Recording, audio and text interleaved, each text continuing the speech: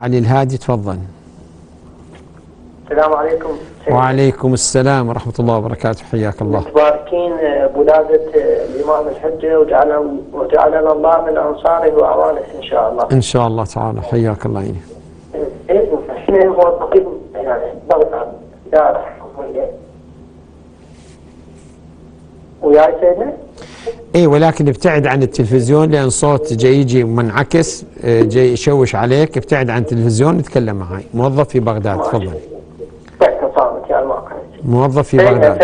إحنا موظفين آه، يعني موظفي قطاع حكومي. نعم. ال- الشغل مالنا محدد يعني. نعم. آه، محدد من من 9 ونص إلى 12 فهو الدوام الرسمي يبدي من 8 ونص إلى 2 ونص. الرسمي من ثمانية ونص إلى ثنتين ونص. إلى 2 ونص. ولكن ولكن أنتم. ساعتين ونص تطلعون. إي يعني إحنا ما نطلع نبقى بالدائره زين. إي بس هذا الفتى يعني عندنا من ال 8 ونص لل 9 ونص هذا نقول جماعة. عندنا من 12 لل 2 ونص. يعني هذا ما عندنا عمل ما عندنا تكليف به رسمي. بالي إي. فأقول هاي المده يعني إذا واحد يروح يقضي له شغلة يعني بعلم الإدارة أو بدون علم الإدارة. موافقتهم أو بدون موافقتهم. بس و- هو رسميا يعني إحنا ما مطالبين بعمل بهاي المدة. واضح واضح أخ علي الهادي واضح. حياك الله راح أجاوب حياك الله. آه، الأخ علي الهادي يقول إحنا موظفين في قطاع حكومي. ودوامنا ال- الرسمي من ثمانية ونص إلى ثنتين ونص يعني ست ساعات. ولكن إحنا عمليا يقول عمليا تسعة ونص ل 12 يعني ساعتين ونص. من الست ساعات ساعتين ونص. تقريبا ثلث المدة. ثلثين ما عندهم شغل بس ثلث المدة. يقول نبقى بالدائرة ما عندنا شغل وعمل نقدر نروح منا منا نقضي شغل لا يجوز ذلك. لا يجوز ذلك. ليش لا يجوز ذلك؟ استمع إلى برنامج كان عندي الأمس على قناة كربلاء فيما يرتبط بحدود وظيفة الموظفين في الإسلام. حدود وظيفة الموظفين في الإسلام. بينت؟ وبينت على أنه أنتم أجراء والأجير لابد أن يؤدي عمله ووقت الأجير ليس ملكا له. الأجير لا يملك وقته. يعني لما أجيب واحد عامل الصبح عامل بنا عامل شغل من ساعة سبعة للثلاثة وقته مو إله وقته إلي لأنه جاء أنطيه فلوس أملك وقته باستثناء الصلاة والغداء. البقية هو وقتي مالي. ما يجوز لأن يشغل نفسه بشيء آخر. والموظف أجير يأخذ أجر ويأخذ راتب. وما عندي شغل قاعد أغفي أقعد وغفي شغلك تبقى في مكانك. أما تطلع تروح منا تروح منا هذا ما يجوز سواء المدير قال لك أو ما قال لك. لأن المدير نعم أكو نظام إجازات الزمنية إجازة زمنية ما في مشكلة هاي محسوبة عليك. ولكن أنه والله الم- المدير يقول يلا روح وأنت روح وأنت كذا. لأن هو المدير يحابي هذا أيضا ما يجوز. واضح ابني؟ أبو النرجس تفضل. السلام عليكم. عليكم السلام ورحمة الله. سيدي شلونك؟ شلون صحتك؟ حياك الله عيني بارك الله بك مولاي عندي بالنسبة لشغلة الخمس يعني أنا جاي اخمس يعني كل سنة. نعم. ومولاي ورضيع يعني حالته يعني تعبانة وهي متزوجة بس زوجها ما نعم. زوجها ما يصرف عليها. نعم.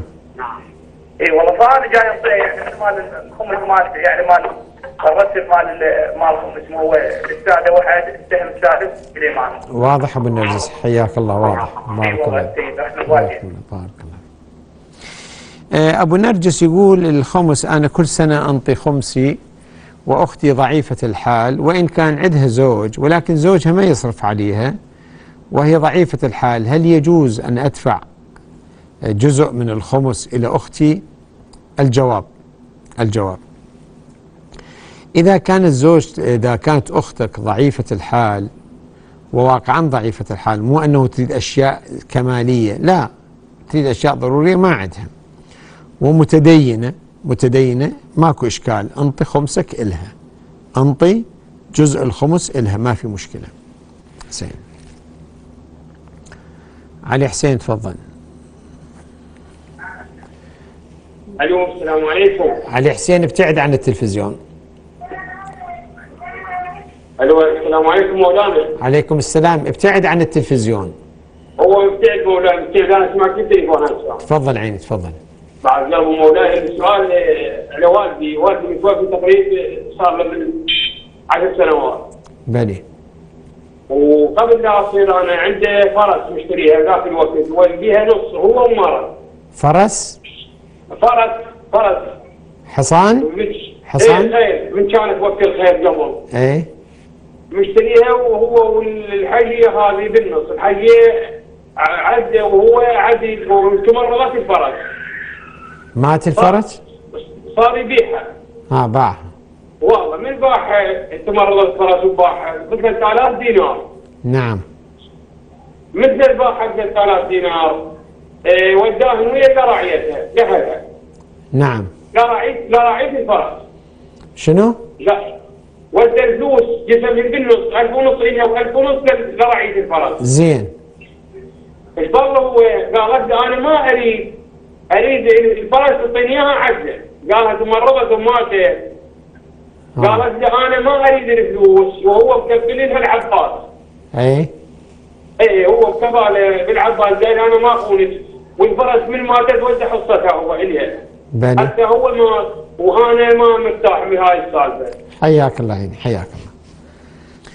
علي حسين يقول والدي متوفي عشر سنوات قبل ومشتري له فرس فرس حصان ويا مرة على حال شركة. والحصان على حال تمرض ومات وأبويا قيمها 3000 دينار دز 1000 1500 دينار للمرة شريكته. ما قبلت قالت أنا أريد الفرس أريده. على حال الأمور هذه يا أخ آه، علي حسين هذه الأمور آه، في المنازعات تنحل يعني. إذا هي تقول أريد الفرس لازم والدك كان يقول لي يابا الفرس مات أو تمرض بدون تفريط بدون تعدي من عندي وأنا ما فرطت به وأنا درت بالي على الفرس بس الفرس مات. فهو لا يضمن لا يضمن إلا شنو؟ لا يضمن شيئا أصلا. لا 1500 ولا أقل ولا أكثر. أما إذا بايعها ينطي نص القيمة إلها ويقول أنا على حال ما مقصر. هذا يحتاج إلى شنو؟ إثبات إثبات هذا الأمر. أما أنت ما مرتاح على حال إن شاء الله الله يريحك وهاي القضية بين الشريكين الشركاء لابد أن آه، يظهر أو يتبين إلى شريكة الأب أنه والدك أمين والشريك أمين. الشريك أمين ما يخون. فما لها حق أن تقول له تعال أنت خائن وأنت مقصر. ما تقدر هذا الشيء أصلا. فيعطيه حق لا إشكال في ذلك وهو ال 1500 دفع الهيئة.